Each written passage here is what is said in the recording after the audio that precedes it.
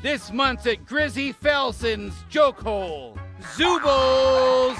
What's the deal with those airplane snacks?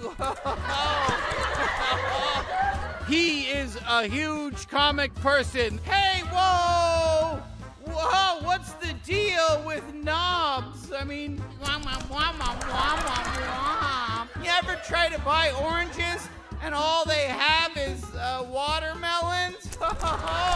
He's the funniest guy you've ever seen, and his sitcom's a huge hit on the one channel you watch. Oh my god, that guy's jokes were fucking awful, but his body made me laugh so hard. I'd go back.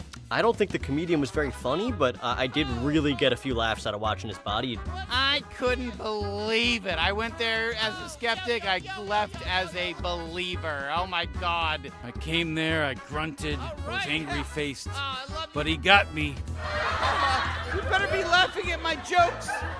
I'm not an animal. I'm a flippy dimpy dude. You can only see him this month at Grizzle's Hootins Joke Hole.